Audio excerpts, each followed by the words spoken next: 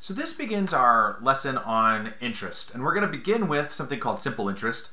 Um, and simple interest is this idea that um, interest is the amount of money that it gets accumulated for an investment called the principal over a particular time.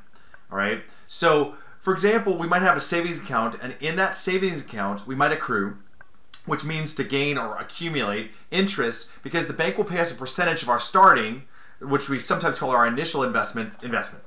Okay.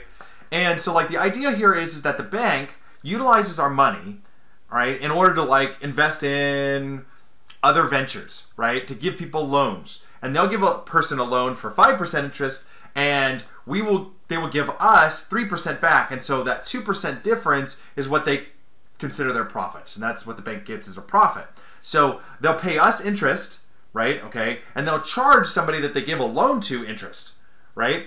And so what we're going to look at is we're going to look at how do we calculate those that the, that kind those kind of numbers, right? One from the perspective of us, where we're getting interest for putting money into a bank account, or let's say, for example, from the perspective of the bank, where they're actually taking um, interest from somebody that they give a loan to. Okay, so let's take a look at an example. A bank may pay us 1.5% on, on a net investment per year. The simplest way to calculate this is with something called simple interest. So let's suppose that we put initially $3,000 in. How much will we have after one year? So if we think about this, we're just going to have a single year, and we notice that this thing here is our investment is per year. So we got one year and we have per year, okay? And since we're looking at our investment per year, we have something called an annual, annual meaning per year, annual percentage rate. So you know that you're looking at it per year because in Latin, uh, a year is called per annum, right? And annual means per year. Annual percentage rate. And so our annual percentage rate in this case is 1.5%, which we're actually going to turn into a decimal because we're going to need a decimal in order to do uh, any kind of math. We can't really do uh, math with percentages.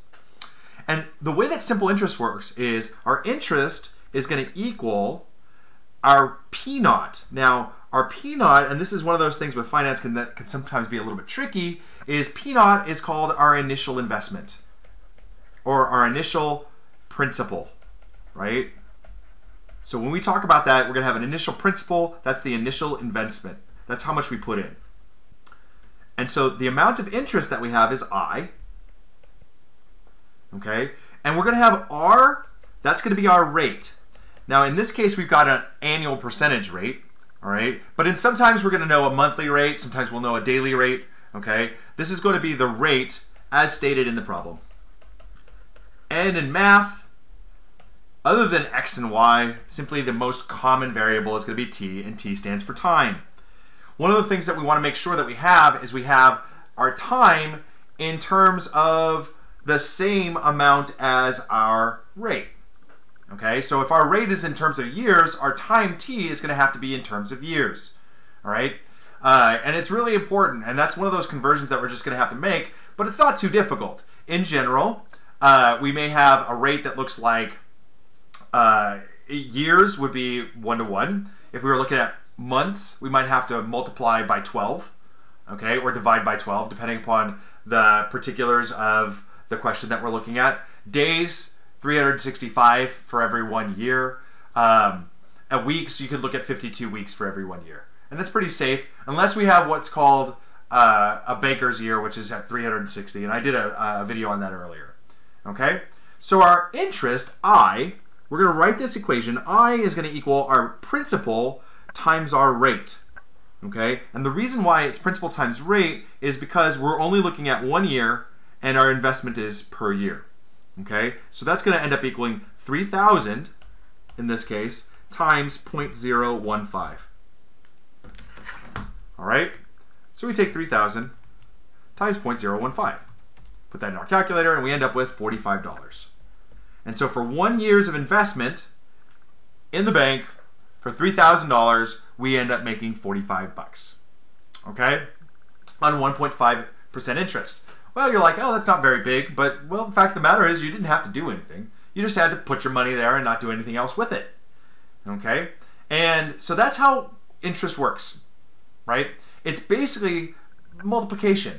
Um, and one of the challenges of working with finance, working with interest, is this part right here, where we identify inside of our problem what are the values uh, that we have, the information that we ha- that we have, and what do they represent in terms of the equations that we're going to end up using, right? And then we just basically plug them into the equations. Okay, so this is called simple interest, and this is one-time simple interest. That is, say for example, I use something called a certificate of deposit. They say, look, after one year, you keep the money in for a year, you can't touch it, and we'll give you 1.5%, right? And so at the end of the year, they give you $45 along with your $3,000, right? And so let's take a look at that problem too. Let's say, for example, again, we have a CD, and the question that we want to know is, what amount of money will we have after one year? So now what I want to think about is I want to think, okay, well, I got this amount of interest, $45, all right? And you might think to yourself, wait a second, I put in $3,000 and they're giving me back 45 bucks. Well, no, that's not how interest works. How interest works is we're going to take the amount that you put in initially, $3,000, and we're going to add to that the interest. Okay? So we'll talk about this as the amount, right? A equals the amount. And here's what it's going to be. A, our amount, um, amount after time t. Okay? A is going to equal simply I plus P naught. So it's going to be my initial amount, okay, um, P naught, plus interest, right? So it's going to be the interest plus the initial amount. And when it comes to working with interest and thinking about interest, that's basically all we're ever doing. We're taking the interest plus whatever principal that we put in. It just gets more complicated as we get into more complicated, kind of like um, complicated situations, right? If we're, say, for example, we're what we call compounding over longer periods of time, or if we have, you know, different interest rates, or what we're doing is we're putting in money, like we're making a payment over time, okay?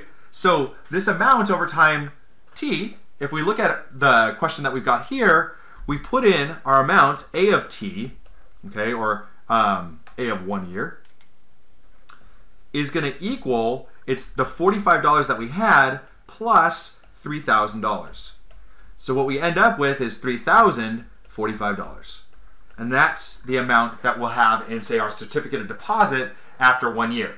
We take the interest plus the principal, that's actually how much you end up getting after one year. All right, and it's really like that's all it is. So when we see what we, you'll see is you'll see an equation that looks like this. And I'm going to do a little bit of algebra, but I think you guys can handle it. Okay, I've got a of t right is going to equal my interest i of t plus p naught. Okay, now this interest we have it. It's right up here. So interest is going to equal p naught times r. Okay plus, and we'll add p naught. And then what we do is we just do a little algebra where we, we factor out the p naught.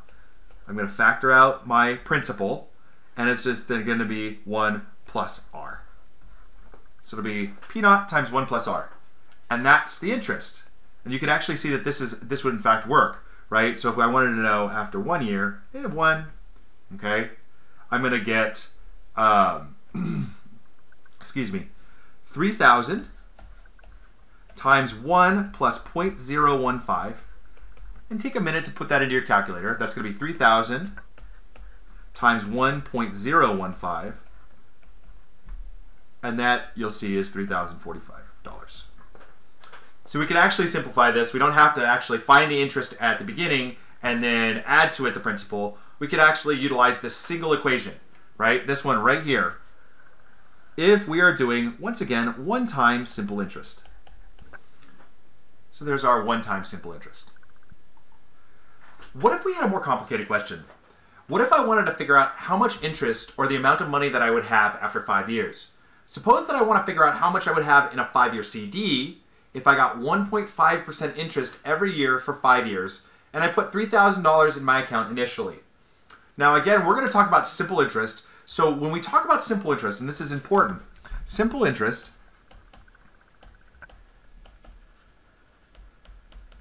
gives us interest only on our, our, our initial principal. Gives us interest only on our initial principal.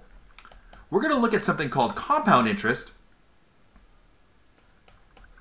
in just a little bit. And what happens with compound interest is that every single year I end up having a new amount of money, or every single day I end up having a new amount of money, right? They add the interest in, and if you think about it, what ends up happening is, is that I end up with more interest, uh, or after that first year, because I have a bigger principal. Bigger principal gives me bigger interest every single time, and so that's actually how compounding interest works. In our case, for us, for our case right now, we're just looking at simple interest, and so every year it's just going to be three thousand dollars again.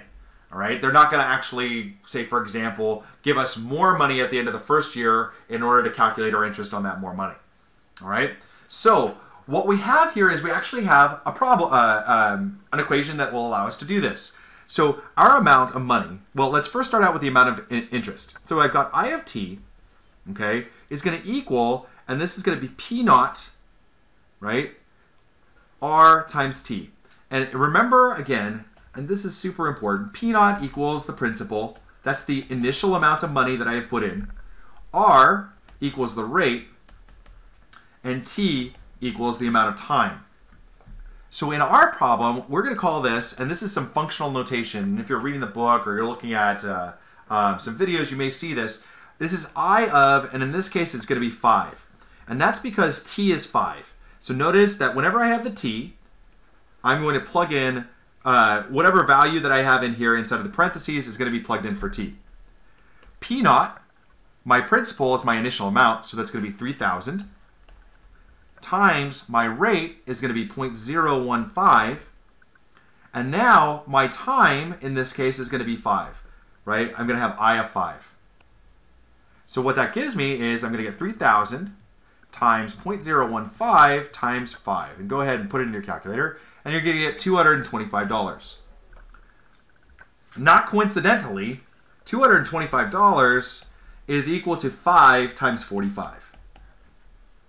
Okay? So remember that 45 was how much I was getting every year, and since we're doing simple interest, we just multiply that by the number of years. That's all that's happening. Okay? Um, and that's how simple interest works. Principal remains the same, and we uh, just add up interest on that initial principal, right? No changes in how much is in the account until the, basically the very end, right? So it's like, okay, well, we'll give you 1.5% on $3,000 for five years. Now, the amount of money, call it A of t, is going to again be equal to, it'll be the principal, P naught, plus, again, our I of t. And that's exactly the same as what it was initially, right? When we looked at uh, simple interest for when we just had the one-time occurrence. So if I look at this, this is P naught, and I'm going to plug in my P naught RT. Okay, just a little bit of algebra. You can always just utilize the equation if you want to. I'm just doing this um, so you can see that they're related. So this is my principal plus my interest. So that's going to be P naught, and I'm going to factor out the P naught, and it's going to be 1 plus RT. Okay? One of the things that I know, just like before, if I plug this in, this is 3,000 plus 225.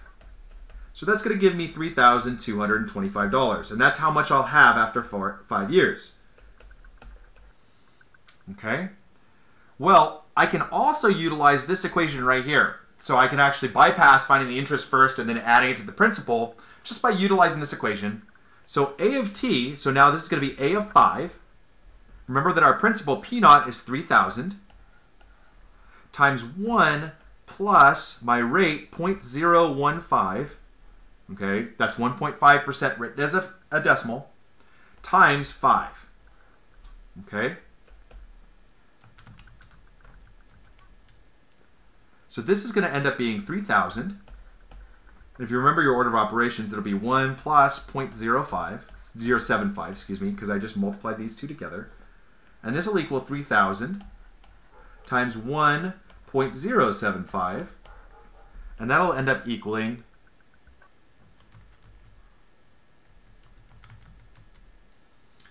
Go ahead and put it in your calculator 3,225. And there it is. And that is the amount that we have after five years using simple interest. Okay? So on the one hand, we can think about if we have an initial amount, that is, is just one year's worth of interest accrued for a one year rate. Okay, you got one year, one year rate, right? How much will you actually end up getting? Well, that's going to be um, A of our initial t, and our t ends up here being 1, right? In that case, t ends up being 1, and so we end up with the same exact equation just for one year. Oftentimes, I don't even think about the first one, the first equation. I just utilize a of t, my amount, right, after an amount of time t, or I use I of t, which is my interest, depending upon what people ask me for, okay? So if I'm being asked for the amount of interest, I'll use I of t. And if I'm looking for the amount, total amount that I have left over at the end, I'm going to use A of t. So let's kind of review that for just a moment.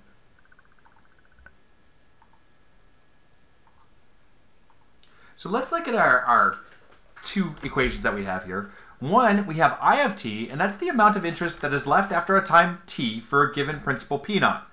And we've got I of t is going to equal p naught times r times t. And that's the interest. So that's the amount of money that we get in addition, that the bank is going to give us in addition to our initial principal.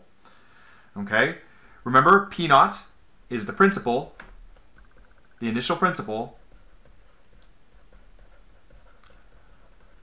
R is the rate, and T is the time, and we should say that it's in terms of the same time from the rate.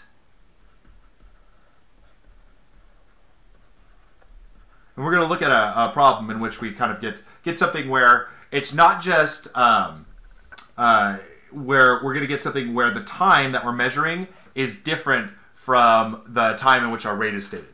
All right. So now A of t, in terms of simple interest, is going to equal P naught times 1 plus RT. Okay? Again, R is the same value that we had before. It's the rate in terms of the same time from our uh, from our rate. Uh, excuse me. It's our rate times the time in terms of the same time from the rate. And P naught is our initial principal. And all this is saying is we're going to add the principal, right? The initial amount plus our interest. Okay? And we just actually put it all together inside of a single uh, single equation. Okay? We take the interest plus the the principal, we get the amount that we have at the end.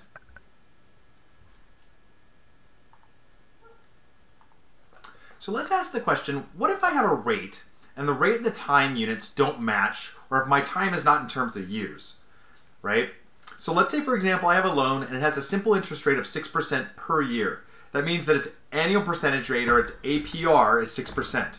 The initial principal of the loan was $1,500. How much interest would be owed on the loan after nine months? So here's the question. Like, it's not a full year, so I'm not going to owe 6%. I'm going to owe actually less than 6%. But the question is, how much less am I going to actually owe? Okay?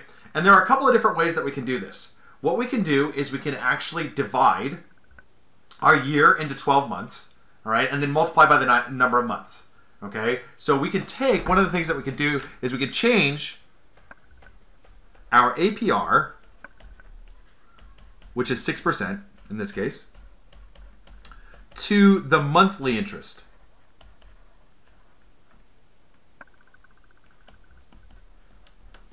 For us to do that, what we're going to need to do, and this is exactly like the conversions that we've done before, you'll take 0.06 and you'll divide it by 12, right? So this is the monthly rate because what we're looking at is we're looking at simple interest. So we have the monthly rate of 0.06 divided by 12, okay, which ends up being 0.005. And so one of the things that we can do is we can utilize this as, we'll let this be R. This is R now. And now, but notice, since it's a monthly rate, if that's R now, then T is in terms of months.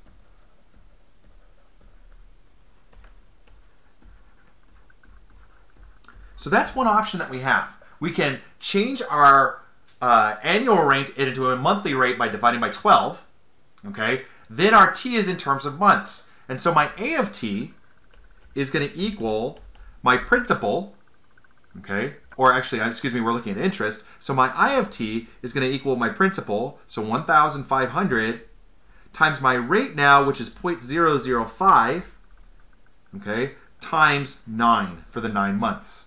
So that's one option. We'll call that option 1. On the other hand, we could actually go in and we could utilize a different conversion. We could keep the yearly rate of 0.06, okay, and then we convert our time into years. So we'll convert our time into years. So our t would now equal 9 divided by 12. 9 divided by 12, which equals 0.75.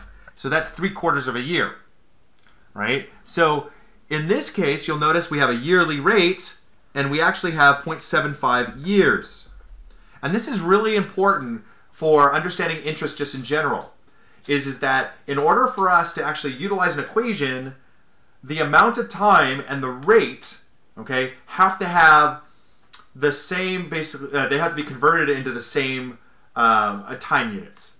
All right. So if we have a monthly rate, we'll be calculating in terms of months. If we have a yearly rate, then we'll be calculating in terms of years. If we don't do that, we're going to end up with the wrong answers. Okay, we're going to end up either calculating too much interest or too little interest. So this I of t now is going to equal 1500 times 0.06, that's my yearly rate, times 0.75. And you can go in and actually calculate both of them. Let's take a second and do that.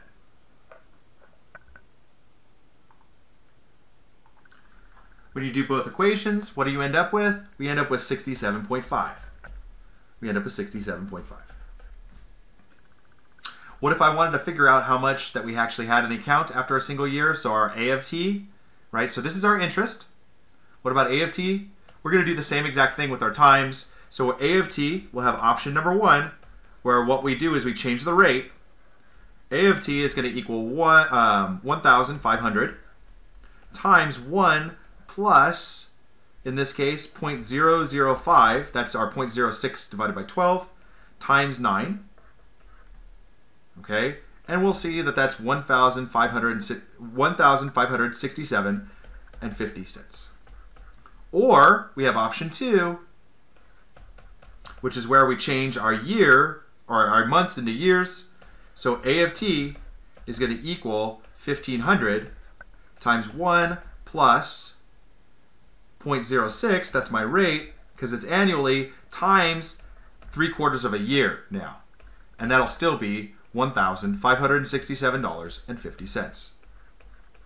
Same deal. So when there is a difference in our rate in terms of its time and the amount of time that we're given, what we've got to do is we've got to do, do a conversion. Either we're going to divide our rate by whatever that conversion factor is. In this case, the conversion factor is 12 because it's months. Or what we'll have to do is we'll have to um, change our time into uh, the same units as our rate. Okay, let's take a look at another example just to do one um, so that you can see another example in motion. Okay, so let's suppose that we have an account that is given 2% per month in simple interest. You place $5,000 in the account and you let it sit for five years how much money, uh, how much money would you have in the have total after five years? Okay, we'll just remove that extra wood. So, if I think about this, we'll notice that I'm calculating here in terms of years, but my interest is in terms of months. So the time on my interest is different from the time on my time. All right. So what I need to do is I need to calculate either one, the interest, or um, the number of years in terms of one of the other. So how about this? What I'm going to do is I'm going to transfer my years into months. So five years will equal 12 months. Will equal 12 times 5 months, excuse me. 12 times 5, which equals 60 months. So I'm going to accrue my simple interest for 60 times over my five years. Not five times, I'm going to do it 60 times, right? Because I'm going to be accruing simple interest every single month. This is a good deal for me, right? If you think about it, getting interest 60 times is much better than getting interest five times, all right? That's why it's so important to pay attention to these things. So my A of t, I'm going to use my equ equation. A of t is going to equal my principal, 5,000, times 1 plus, and my interest rate is in months, 0.02, and my time now is also in terms of months. And so now I can do my calculation. That's 5,000, okay, times 1 plus, and 0.02 times 60 is going to end up equaling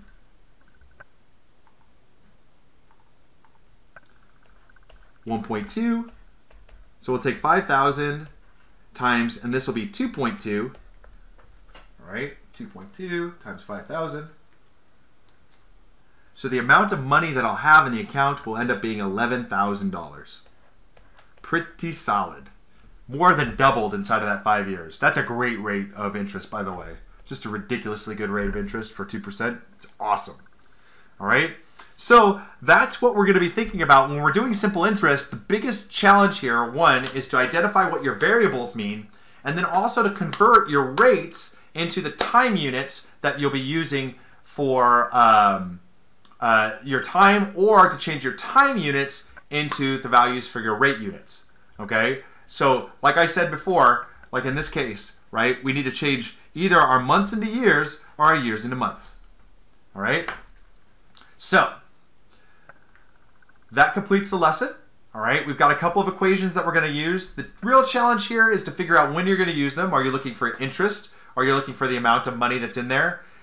We also want to notice that here we're only looking at things that have to do with simple interest, okay? And we need to make sure that our rates and our times are actually equal to one another, or they have the same units, right? We need to get them in terms of the same units. This completes the lesson.